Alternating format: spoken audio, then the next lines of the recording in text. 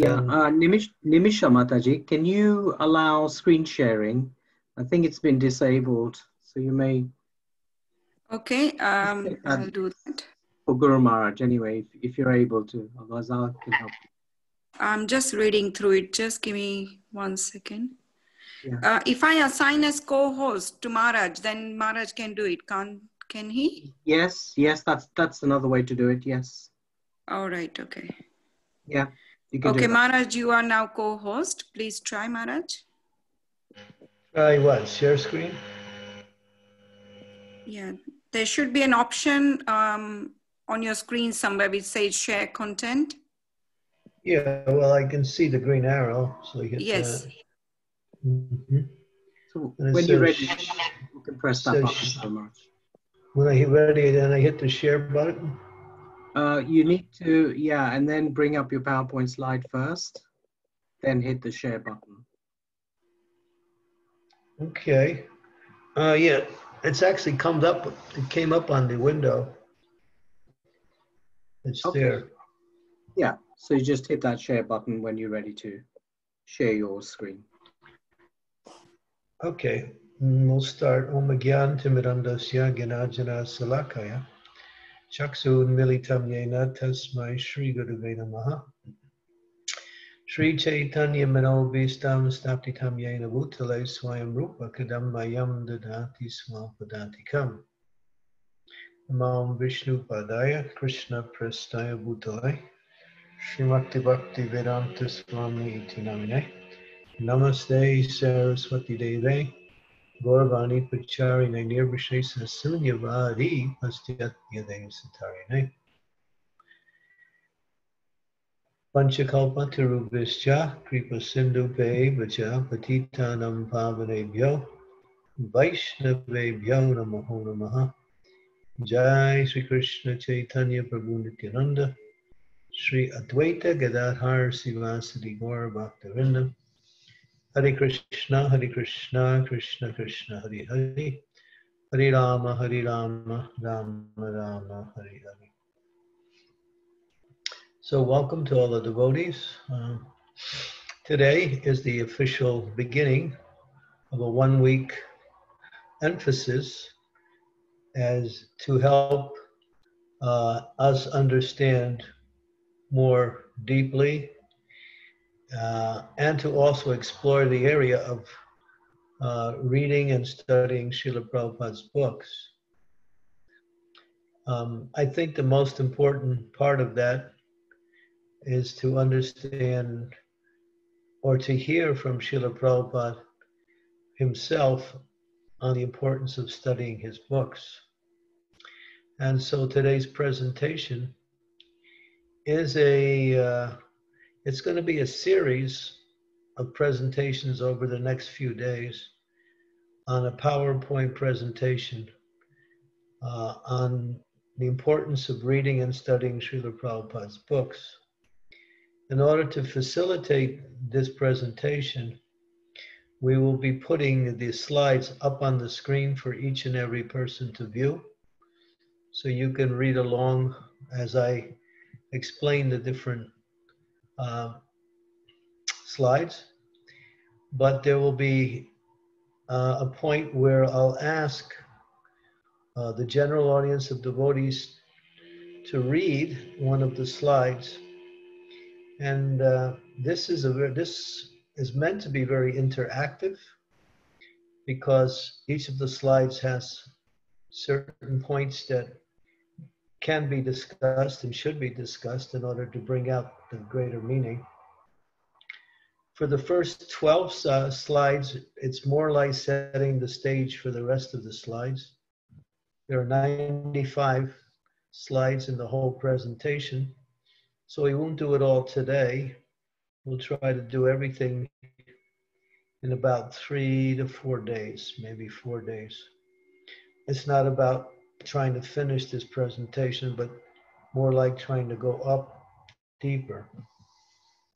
So I'm about to put the uh, slideshow up on the screen for everyone, and uh, then we need to hear whether it's visible or not. And So, uh,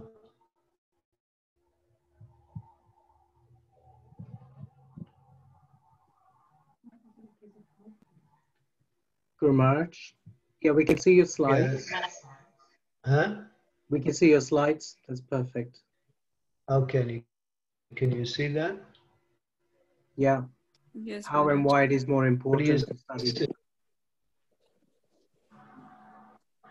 Okay, good. That's the first slide.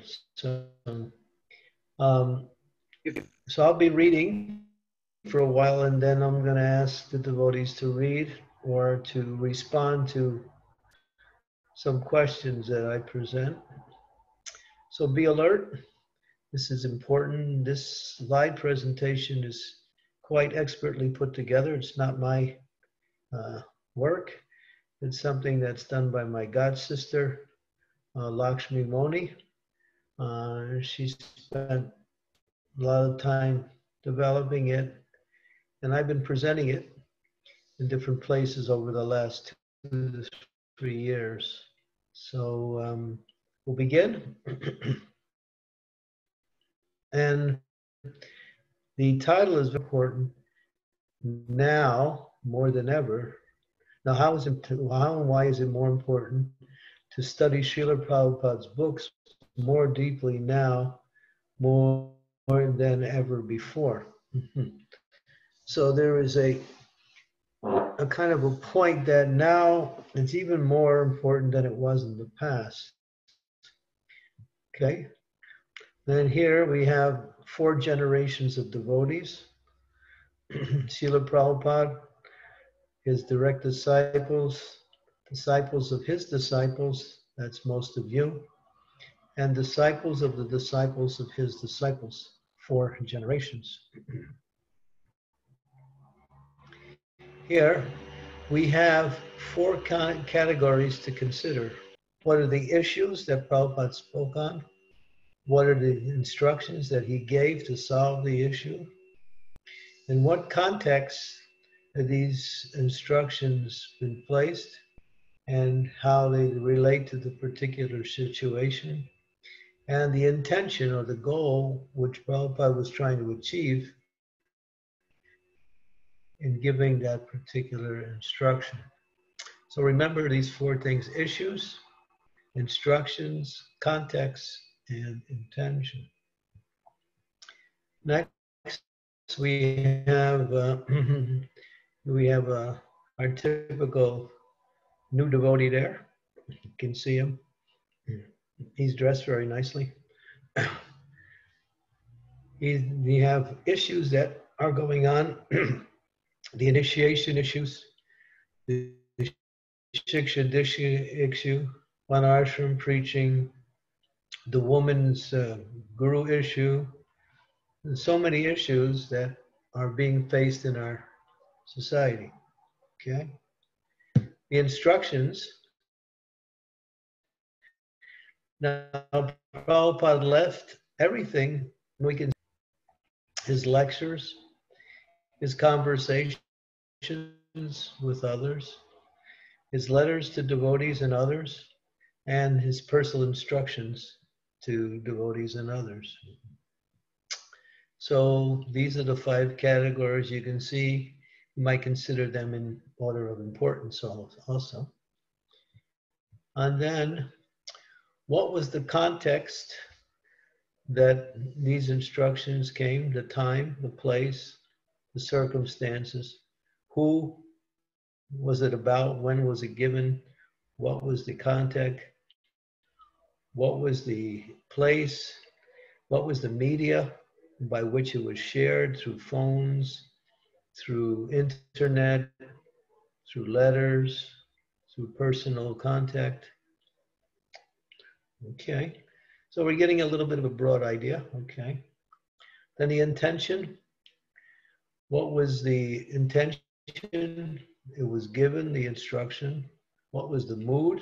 It was given. And what was the desired purpose? Okay, everyone's following. And then, this is important to understand here.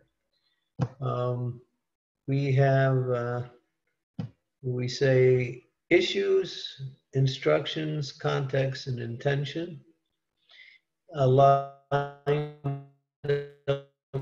with the different generations. So here's just the point that is being made in reference to the title that the first generation, that means those were there with Prabhupada, the issues are clear, the issues are clear, the instructions are clear, the context was given, is known, the intention that it was given was also known. As, as the next generation comes in, we see that the, the intention somehow fades because of time. Now, this is all due to the gradual change in generations. So you'll see as you look down the list, the issues remain strong. The instructions start to fade as the generations continue. The context fades even more and is lost in the fourth generation. And the intention is uh, hardly visible except in the first generation. So um, these we're going to deal with how to prevent this from happening, but this is the general trend, trend as time goes on. The instructions, the context, the intentions become less and less uh, understood and available. Uh, some issues, marriages and divorces, uh, diction initiation for women, relationships between the GBC and the temple presidents. Okay, now this kind of like explains the chart from the second generation. Uh, the intention is missing or fading. It must be reconstructed by knowing the instructions and finding out the context in which it was given. If these arguments, if these are unclear, it can different understandings get stifled and confused. So Prabhupada's instructions in his books, his letters, must be kept alive through a system of reconstruction and making these things alive. Not just by reading his book, but we'll go into some of the ways by which we can keep Prabhupada's uh, four principles the instructions, the intention, the context, and the um, intention alive. Okay, third generation and this sort of patterns the chart in terms of explanation. Context is missing. Things must be reconstructed by memories from those who associated with, because you weren't here with what, what Prabhupada said and did, you're hearing about Prabhupada through his associate, uh, devoted his disciples who had direct association. And then the fourth generation, um, things start to really fade. And then by a relevant system of education and careful study of those instructions, then things can start to become clear again in terms of these four categories. So uh, be prepared. I can't really call on anybody because I can't see anybody. But the first one that starts reading, please read. So here you go. Somebody read.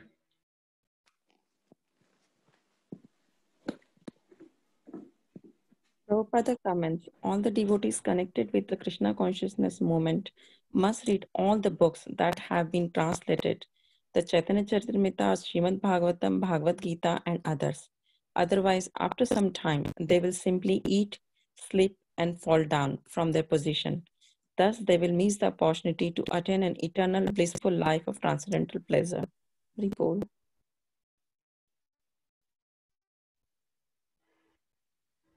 From, uh, read the reference also. From Chaitanya Charitamrita, Madhya Lila, Can you see that? Chapter 25, verse 278.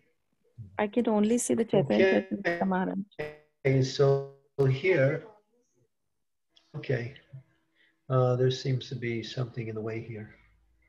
Um, let me see if I can, uh, yeah, okay. It's, yeah, it needs to go up a little bit. Then you can see Madhya Lila chapter 25 there. Okay. So what Prabhupada is saying, and this is a verse from the Madhya Lila Chaitanya Charitamrita. Prabhupada's emphasizing the point that if we don't, then uh, the mind and the intelligence will become uh, what we say either diverted away from philosophical understandings of both the practice and the, and the tattva, the truth of the, the, the knowledge of how it's presented.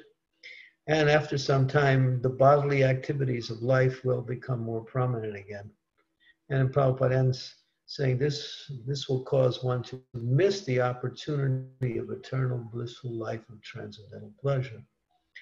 So this is a very powerful uh, verse, and the Srila Prabhupada's purport is also uh, expands on these points here. So Prabhupada said, yeah, Chaitanya Charitamrita, Bhagavatam, Bhagavad Gita, and other books that he gave us. So, so this is one point here. Um, any comments from anybody on this, this particular statement?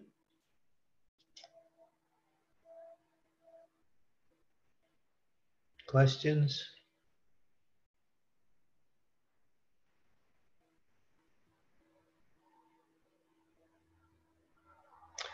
If there's none, we'll go to the next one.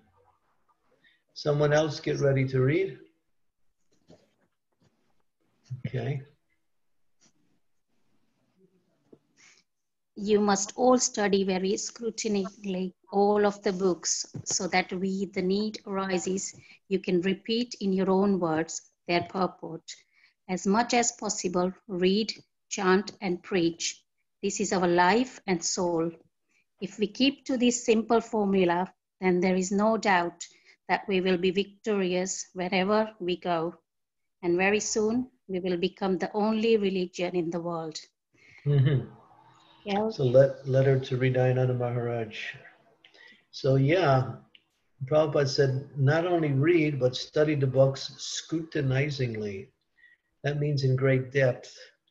So that you can actually come to the point of repeating what you read and understanding it, where you can repeat it in your own words. It's, it's nice to memorize things, but when you repeat it in your own words, then you actually start to realize what you're, what you're saying. And then Prabhupada said, this simple formula will make us victorious wherever we go. So he, Prabhupada wanted each and every devotee to read, study, and then whenever the opportunity, as he says here, arises, if you meet somebody on the street, or if you're asked to give a class, or someone asks you a question, then um, you should be ready to present this. And uh, therefore, he wanted the devotees to be very much uh, clear and fixed in our philosophical teachings. And then he said, we'll become the only religion in the world because we actually have a solid philosophical philosophy where many of the other religious systems are mostly based on faith and prayer, which is nice, but as Prabhupada writes in, uh, in the Bhagavad Gita, the Bhagavad Gita, uh, religion without philosophy is simply sentiment or fanaticism, and philosophy without religion is simply mental speculation. So we need to combine both religious activities with philosophical understanding.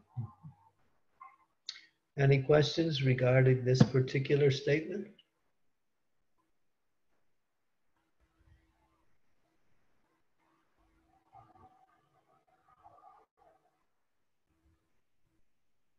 Okay, so we'll go to the next. Okay, someone else read. If you want to stay in Krishna consciousness, you will have to develop firm faith in Guru and Shastra.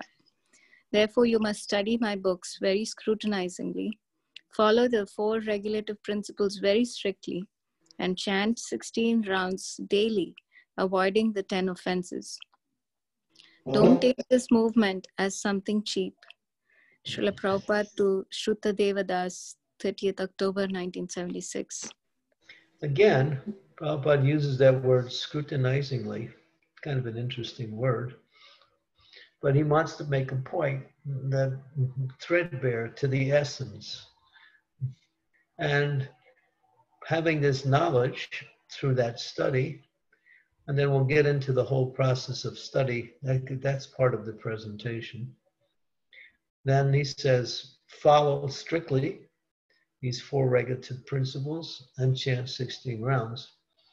By following the four regulative principles, one becomes purified from all reactions of all sinful activities, doesn't commit any more sinful activities, and by chanting the 16 rounds, carefully avoiding the offenses, uh, these three principles combined are the essence of our uh, advancement in Krishna consciousness. Okay. Anything? And he says you have to develop faith in Guru and Shastra. Why would we study the books if we don't have faith in the author of the books? And at the same time, Shastra, which is coming from Krishna through Guru. Okay, so, and then Prabhupada said if you want to stay in Krishna consciousness, Many people come and many people go. To stay, in one has to have a foundation in order to develop from, and that foundation is mentioned here. Clear understanding of the philosophy and ability to explain, uh, carefully reading, and uh, strictly following these regulative principles no illicit sex, no intoxication, no meat eating, and no gambling, which are the pillars of all sinful activities, and uh, chant 16 rounds on beads. Mm-hmm. So he kind of sums it up in this one letter. Any questions regarding that?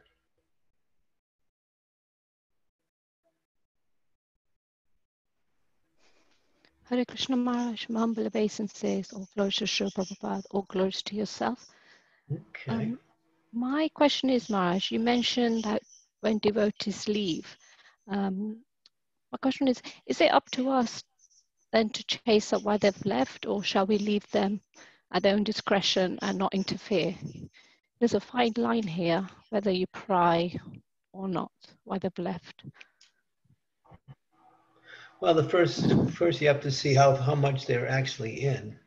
When Prabhupada says they, you know, if you want to stay in Krishna consciousness, that means persons who are chanting 16 rounds, who are initiated, who are following the four regulative principles, then for some reason they uh, become less serious and start to drift away. Anybody can come to a meeting and chant and read that doesn't necessarily mean that they're actually they're just maybe just curious or want to have good association want to do something spiritual. He's talking about people who are actually in the movement who are already following like that. So based on that distinction um, yes with regards to those who are been seriously in practice and then somehow fall away, there should be some attempt to um, find ways to again attract them back. And that's a whole discussion how you would go about it. But yeah. But if you see someone's coming to a meeting for a while and chanting and reading and then they stop coming, you can always give them a call and say, and we miss your association.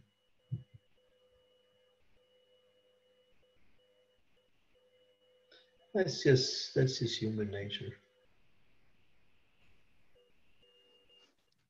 Thank you, Marsh. Okay, so let's see here. Next one, someone else read.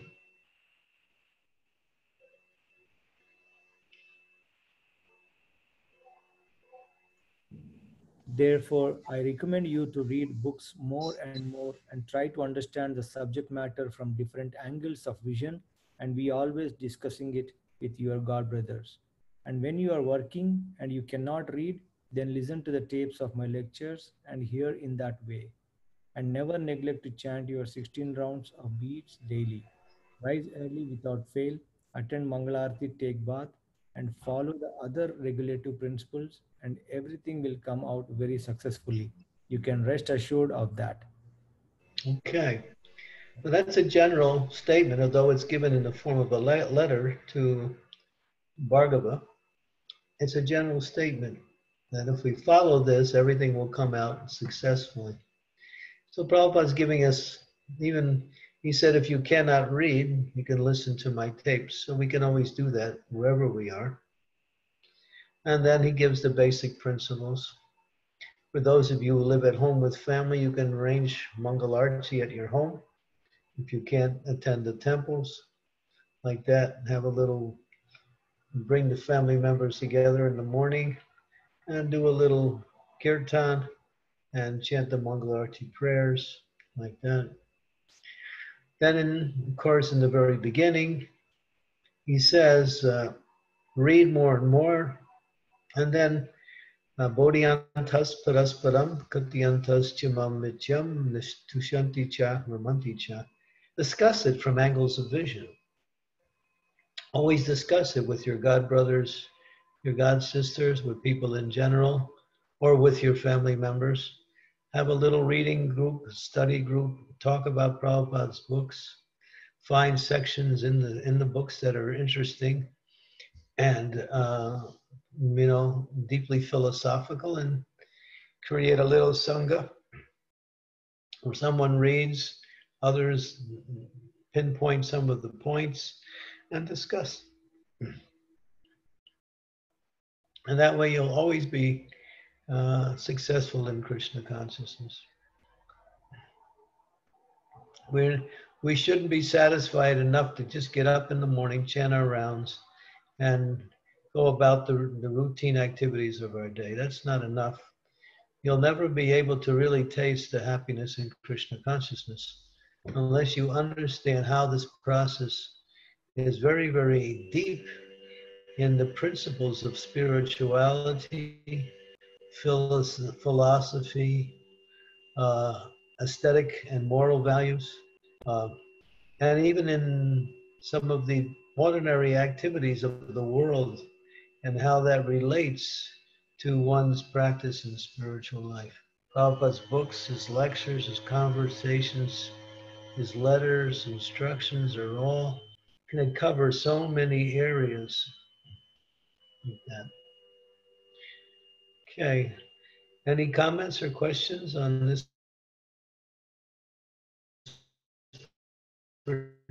particular statement?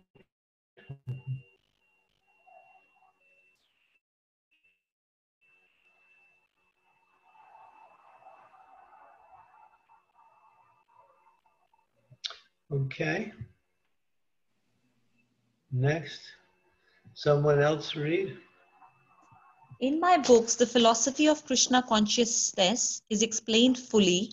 So if there is anything which you do not understand, then you simply have to read again and again. By reading daily, the knowledge will be revealed to you, and by this process, your spiritual life will develop. This is very interesting.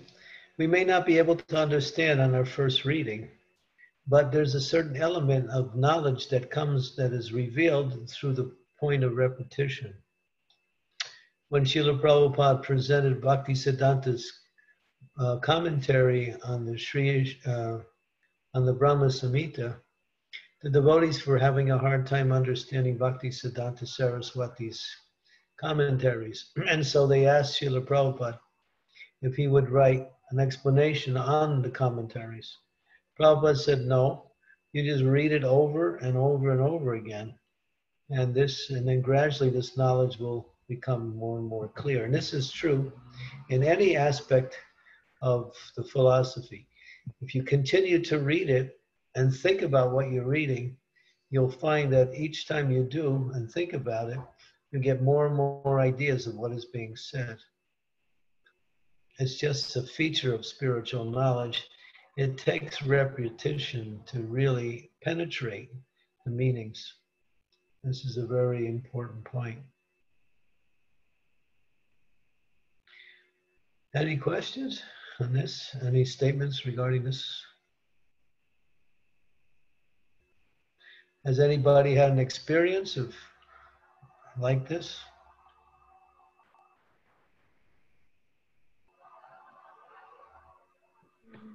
Hare Krishna Guru Maharaj. Yes, I, I certainly have. I always struggle with the slokas in the Sanskrit. So I just used to read the English purports over and over again. And then slowly I got some inspiration to read the slokas and so on. So certainly for me, it was, I struggled with the Sanskrit initially. Yeah, it's just a matter of application. it's like going to school, you have to learn a subject matter. The more you give, you give it the material attention and the intellectual, uh, what we say, uh, understanding, in other words, looking at it from different angles, you start to see the different points that are being presented.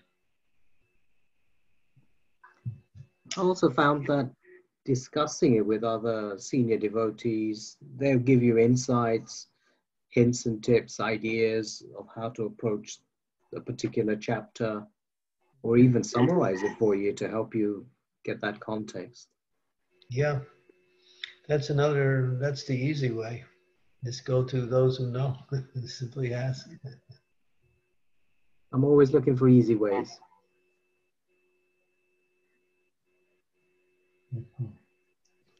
Hare Krishna Guru Maharaj. Yes, um, I think uh, I have the same kind of situation um, as I don't remember um, things very well. So um, not only um, reading again and again, but also um, helps me to write it down and then go back into it and then uh, read it again. And also kind of we have a group reading group so we have some senior devotees um, in the group so um, it's quite nice and very fortunate that um, we can always go back to them and and if um, uh, any kind of um, help we need with the reading and or understanding um, they they always help us too. So yeah i think writing it down uh, the points and go back into again that really helps me yeah that, sti- that stimulates nice discussion amongst the devotees you bring your questions you bring your points of realization to the group they discuss and then you find you you even find so much more even beyond the the initial point of discussion spiritual knowledge is dynamic uh, material knowledge is more like information Therefore, it's not knowledge. And therefore, it's more static. Static means limited. Uh, dynamic means it's, it can unlimitedly reveal more and more of the meaning as one starts to go deeper to try to understand. And this is brought out by discussions. Discussions in point. And we're going to uh, talk about that in some of the later slides. Okay.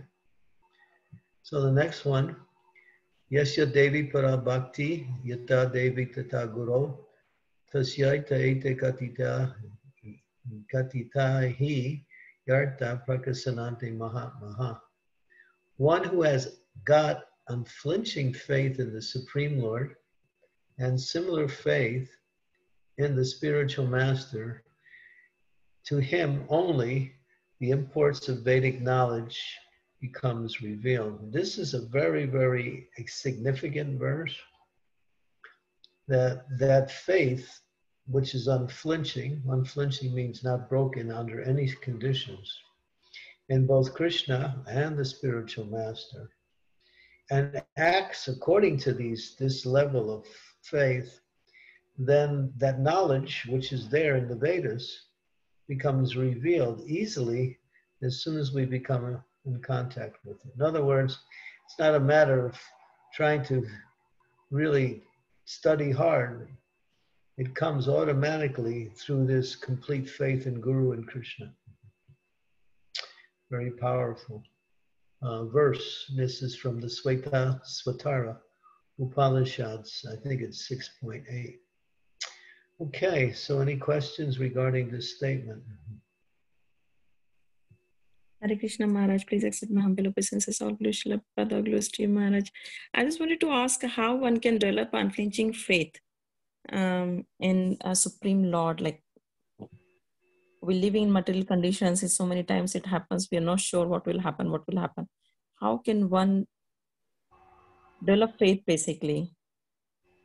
Well, the faith comes by understanding the, the uh, place where you're putting your faith.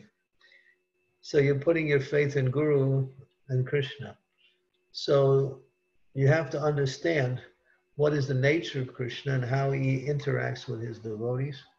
You'll, the more you learn about Krishna, and the more you understand his position of complete supremacy and complete uh, control, then it becomes easy. Putting faith in something material means something is always changing, and therefore your faith is uh, will be uh, damaged because of the changing.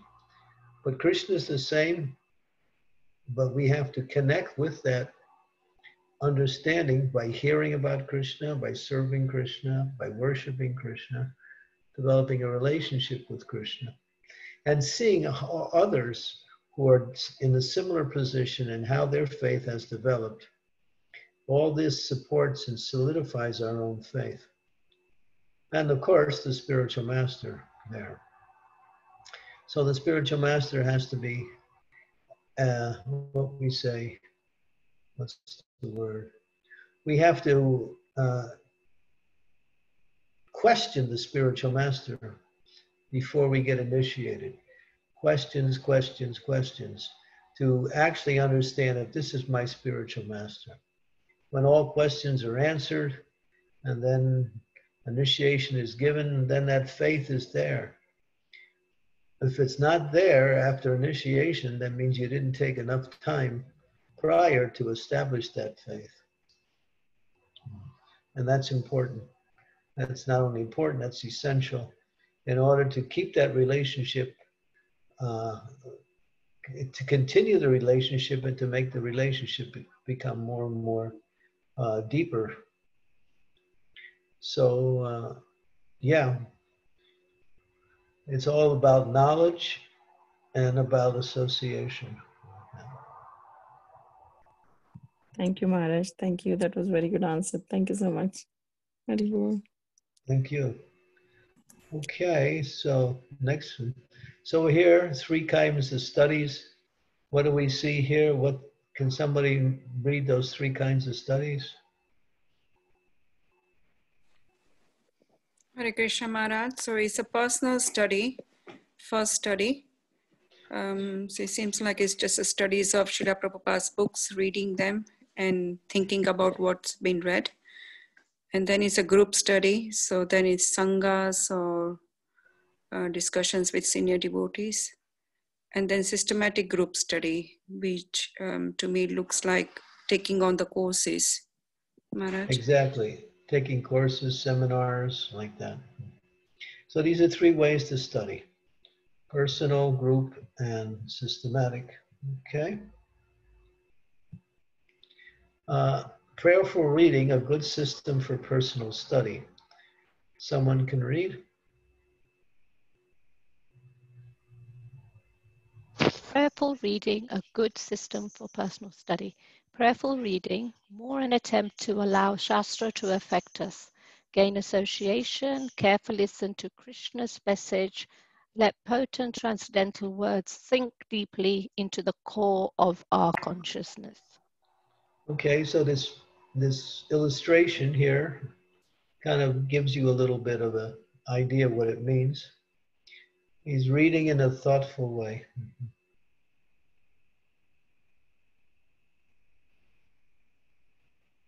Let the message sink in, let it go deeper into your consciousness. Okay, so, and the next one, you'll see all alone by the shore, absorbed in the book. okay, next one. Someone read? When, When we- reading. Go ahead, please. No, Mataji, I already read. You read it. It's fine. Okay. When reading is in this fashion, one doesn't attempt to read a specific quantity. That goal is suppressed by a desire for depth of purification through associating with Srila Prabhupada, our acharyas, and Sri Krishna, the Supreme Personality of Godhead. Even a small step toward such a lofty goal requires a correct attitude when approaching the book. Yeah. That goal is superseded by a desire for depth of purification. So we want not only want to read, we want to become purified by this reading. So what is this? This statement is more or less trying to help us understand a proper attitude when approaching the books. It's not a matter of uh, quantity, it's a matter of what do you want to gain from this reading. Okay. Okay, next one. So there is not there is nothing to be said new. Whatever I have to speak, I have spoken in my books. Now you try to understand it and continue your endeavor. I shall never die. I shall live forever in my books. May 1977. This Bhagavat Purana is as brilliant as the sun. It has arisen just after the departure of Lord Krishna to his own abode, accompanied by knowledge, religion, knowledge, etc. Persons who have lost their vision due to the dense darkness of ignorance in the age of Kali shall get light from this Purana. Srimad Bhagavatam 1.2.43. Yeah, so this is giving us a little understanding of the importance of Srimad Bhagavatam, or not the importance, the prime position, the superior and exalted and top position of Srimad Bhagavatam. Prabhupada said, everything I've given you, it's in my books.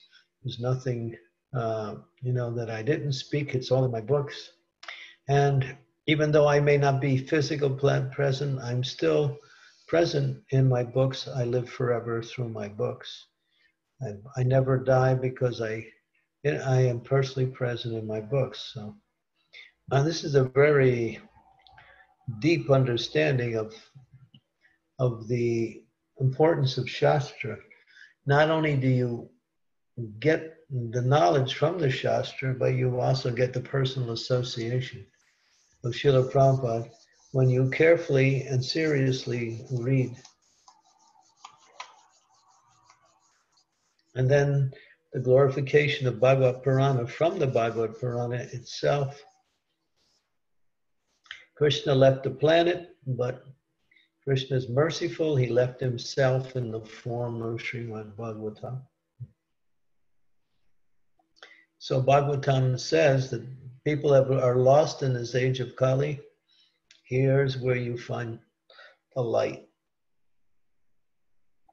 Now this this statement alone we could give a whole seminar on explaining the glories of Srimad Bhagavatam. But the essence is given to us in this very statement here.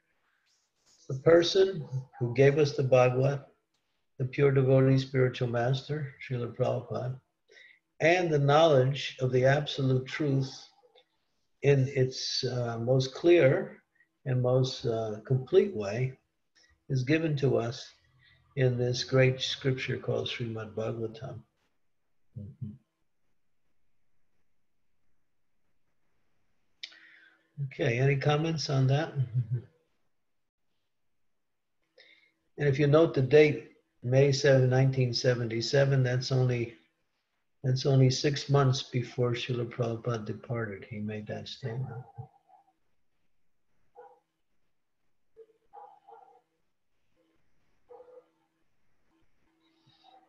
Okay. Here's something visual here.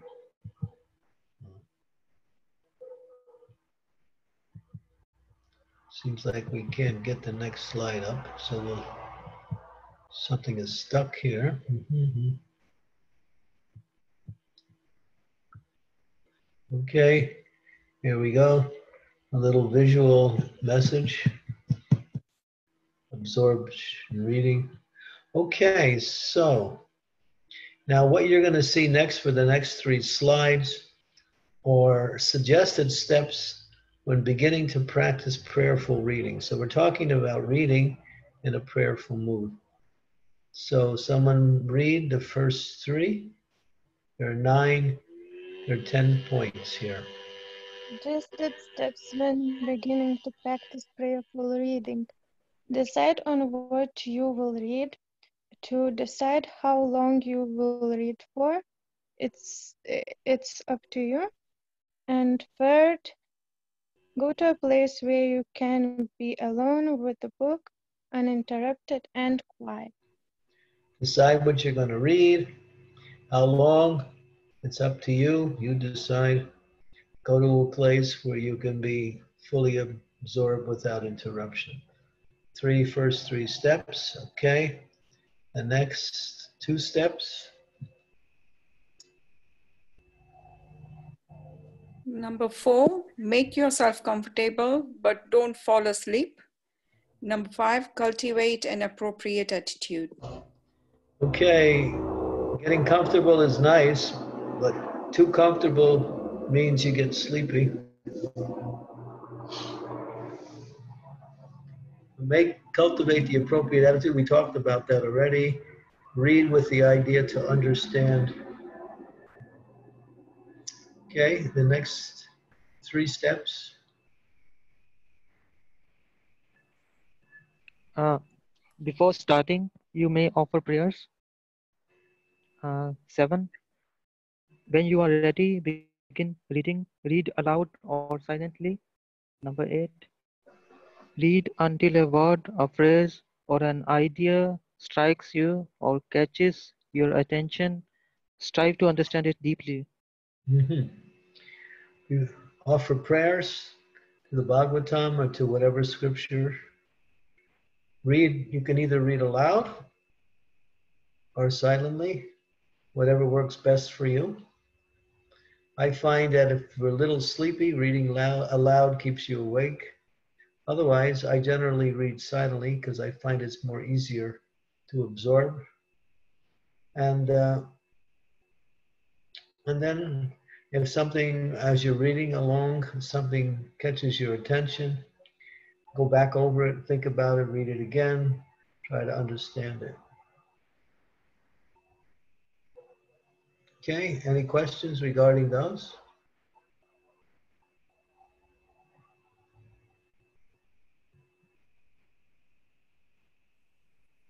Hare Krishna Maharaj, I just have a small question about uh, offering prayers. Uh, so uh, when we read, for example, Chaitanya Charitamrita and Shrimad Bhagavatam, uh, we normally have the defined shlokas, which, which we get uh, normally used to of just reciting the shlokas.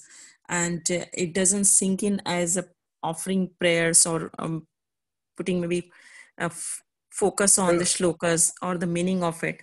So is there any specific prayers? Yeah, we're going to come to four prayers by Sanatan Goswami glorifying Srimad Bhagavatam, which personally I read every day when I begin my Bhagavatam reading. Um, and then, of course, within there is also prayers that are recommended. Nasta Prayeshu Abrajeshan Nityam Bhagavata Sevaya. Bhagavati Uttama Sloke Bhakti Bhavati Naistaki.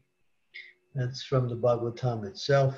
That's uh, so in the Bhagavatam or in other places, there are prayers that are recommended to bring our consciousness into the right mood before reading.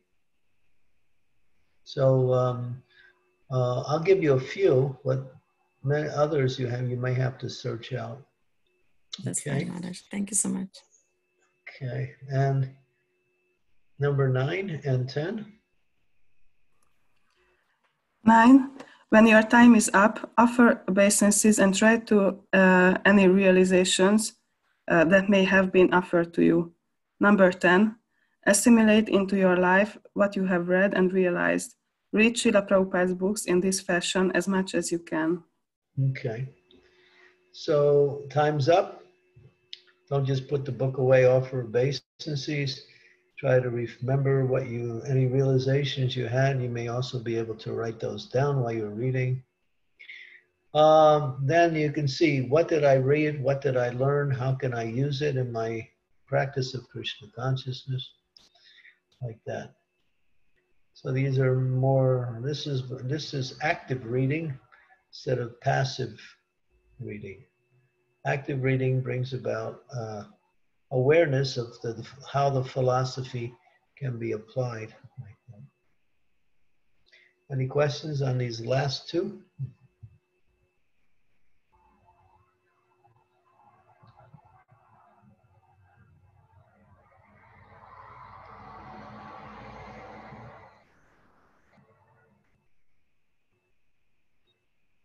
Okay, so now uh, we're going to end with these next few slokas, which are prayers to the Srimad Bhagavatam.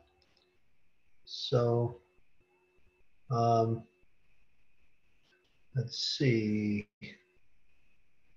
This, these are two of the prayers, and then the translations. Okay, so the next sloka.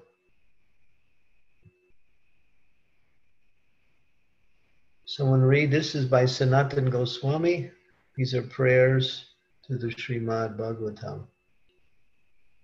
O Srimad Bhagavatam, O nectar churned from the ocean of all the Vedic scriptures, O most prominent transcendental fruit of all the Vedas, O you who are enriched with the jewels of all spiritual philosophical conclusions, O you who grant spiritual vision to all the people of the world, O life breath of the Vaishnav devotees, O Lord, you are the sun which has arisen to dispel the darkness of Kali Yuga. You are actually Lord Krishna who has returned among us. Mm, wonderful. Next one. Continue, Sri Devi. O Srimad Bhagavatam, I offer respectful obeisances unto you. By reading you, one attains transcendental bliss. For your syllables rain pure love of God upon the reader. You are always to be served by everyone, for you are an incarnation of Lord Krishna. Continue. O Srimad Bhagavatam, O my only friend, O my companion, O my teacher, O my great wealth, O my deliverer, O my good fortune, O my bliss, I offer respectful obeisances unto you. Last one. O Srimad Bhagavatam, O giver of saintliness to the unsaintly, O uplifter of the very fallen, please don't ever leave me. Please become manifest in my heart and my throat, accompanied by pure love of Krishna. Okay, so these are four really powerful prayers offered in, with such devotion to Srimad Bhagavatam by the the one of the senior of all the Goswamis, Srila Sanatan Goswami. So uh, we'll make these prayers available to the devotees, so uh, you can have a copy of them, and you can also use them in before you read. You may also read them at the end after you read Srimad Bhagavatam like that. So you can see how much love he has for Bhagavatam and how much he glorifies Bhagavatam as the best of all scriptures. Okay, so for today, we'll end here and then we'll go tomorrow to slide number 34 and uh, we'll continue. It gets more and more interesting and more and more in depth. Um, and so we were just trying to give a little clearer understanding of the, the, the magnitude that these books cover and the importance that they have in our life, especially in our practice pure devotional service. And how we can take advantage of them like that.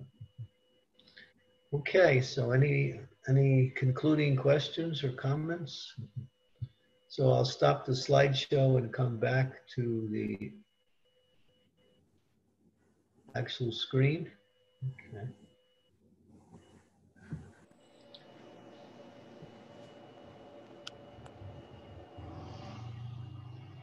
Hey Krishna Maharaj, my humble obeisances to you. I really appreciated the quotes, um, the, the first few quotes that you showed uh, about the importance of following the regulative principles, chanting the 16 rounds, and uh, reading Prabhupada's books. And I also appreciated, like, you know, the four, with the four generations, like how the intention um, could be lost if if that's not done carefully. So yes it's that's very a, true. Yes a significant point. And this is this is a historical phenomena that a, this um, just like we have the we have the example of uh,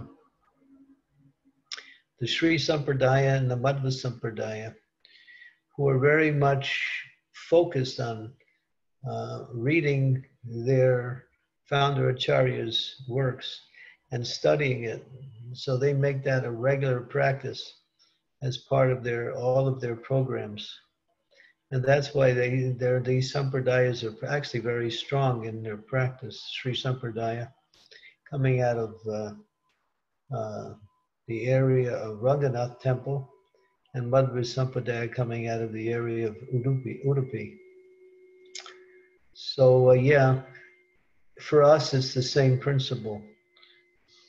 We need to keep everything alive and also understand what supports our understanding of the philosophy is the practice that is given, and that is the chanting of the holy names and the following of the four restrictions. Thank you. Thank you for that, uh, that uh, explanation. Appreciation. That was wonderful.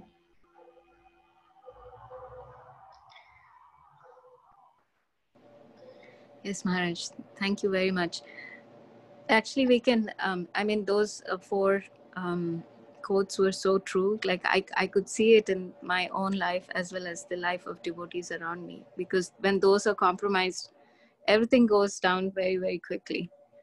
Mm-hmm. Yes, everything goes, because that's when you build a, a house, you, you the strength of the house is based on the foundation you first construct. There's, those are foundational, and everything we build on top of it, that is our devotional service.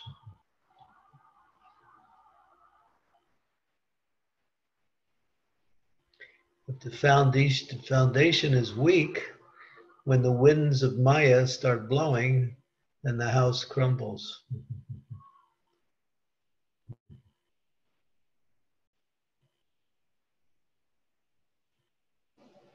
Yes, Maharaj. Yeah, but I, I, you know, I, uh, I also, you know, um, see the good side of it is that if we just take to those practices again, like we can stand up again. Um, so, Yeah, that's true.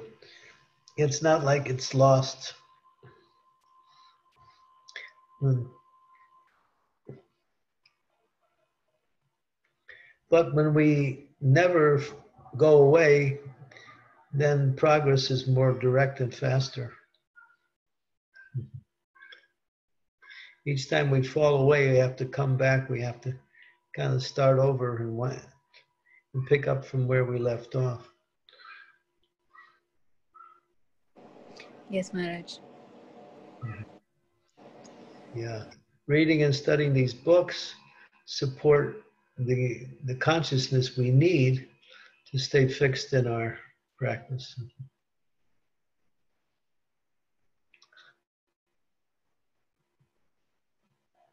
And that's a that's a feature that's really prominent because I see when maya attacks, devotees sometimes get confused. They don't know what to do, or how to act, or how to think, or how to uh, get out of the situation. But if you know the philosophy and you have a working understanding how how how to apply it, then everything becomes clear. What's the solution?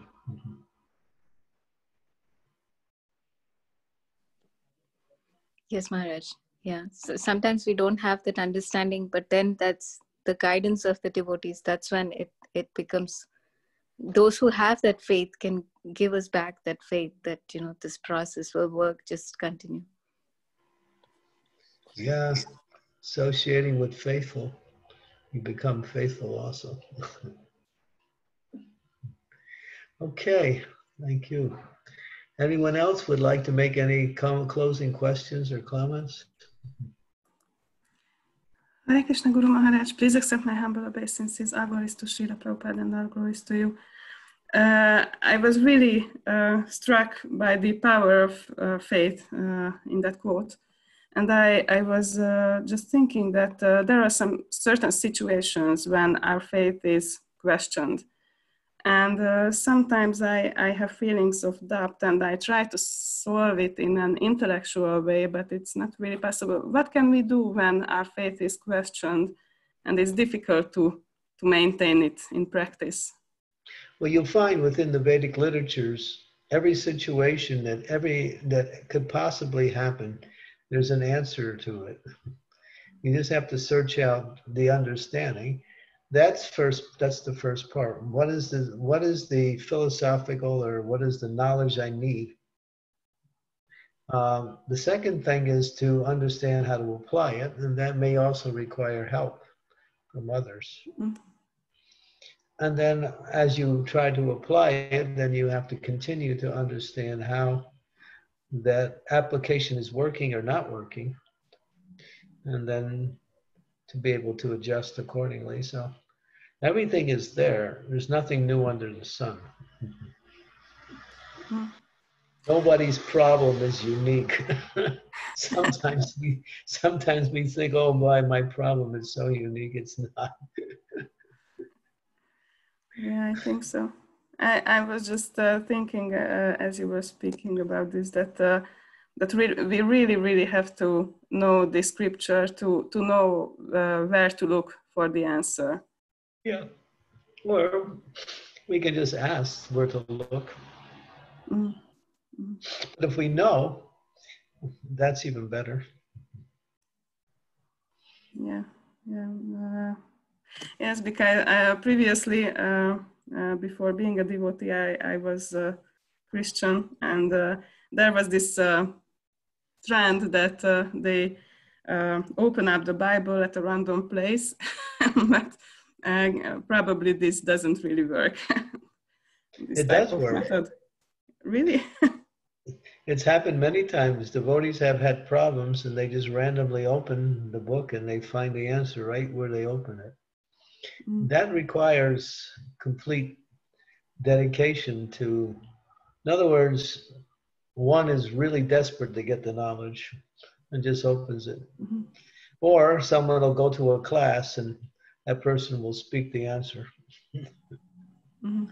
Yeah, that also interestingly, sometimes it works. Mhm.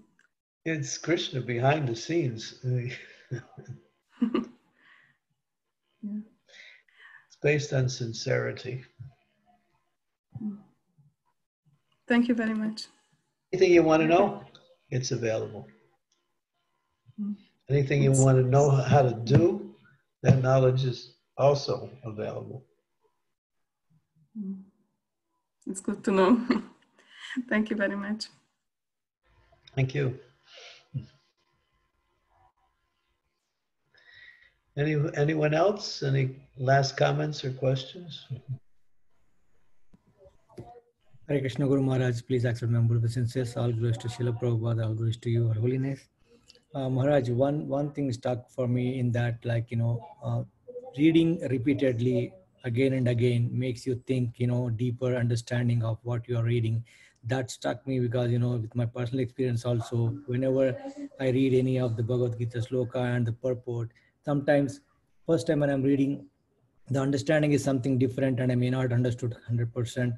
And then when we have in our Bhakti Vriksha, like all the other devotees reading one, one you know, sloka of the same chapter and giving their realizations, after listening to that, if I go back and read what I had read, you know, it totally changes the perception and make more understanding. So thank you very much. That, that, that point is really, you know, stuck to me that, you know, even though first time I don't understand it, keep on going back and read. And every time you read, it will be a new perspective and you get something new out of uh, that understanding. Yeah. That's the nature of this literature. And the, that's the nature of how intelligence becomes receptive through repetition. Good, good. I'll give you. I'll give you a little bit of a uh, challenge, if you want. If you can get a hold of uh, the Brahma Samhita by Bhakti Siddhanta Saraswati's comments, which is an ISKCON publication, read that and see what you think, and then. Maharaj, we, started Maharaj. Actually, you know, we have a uh, reading group, club group, and I think three weeks back we started Brahma Samhita, and you know, uh, and and the first introduction itself, like the English, the way, you know, Bhakti Siddhanta Saraswati Maharaj, the English itself is like you know we have to keep a dictionary aside because the Prabhuji who you know runs this uh, class every week. He, he says like when you do your homework, keep a dictionary because some of the words you know Maharaj uses, you know, yeah it's way beyond our my understanding, Maharaj, at least. The materialistic demeanor cannot reach to the transcendental autocrat who is ever inspiring the fallen conditioned souls. And it goes on like that. Absolutely, Maharaj. Yes. So we just Krishna is the transcendental autocrat. and and, and compare compare to that maharaj like you know Prabhupada's purports and the language is very easy maharaj. It's like you know you can easily understand you know compared to Siddhanta Saraswati maharaj. So yeah. Uh, yeah. we don't recommend you read all his books but that one has been given yes, to us. yeah, so that one yes. because it's such an important text. Yeah that one you can really it's good. It's good to do this because it sharpens your intellect. Yes. it causes you to really think and, and when you start doing sharper. Yes Maharaj. thank you Maharaj. Hare Krishna. Thank you. Hare Krishna. Thank you uh, Srinivas Hare Krishna. Hare Maharaj. Okay so I guess we'll uh, close here. And uh, tomorrow we'll continue. That was we did 33 slides, and there's 95 slides altogether. And so uh, it gets more intricate and more in depth, and you'll see. And it's also very, very helpful in some of the upcoming slides on the importance of uh, how to approach the books and how to get the best from that approach. Okay, all glories to Srila Prabhupada. Hare Krishna.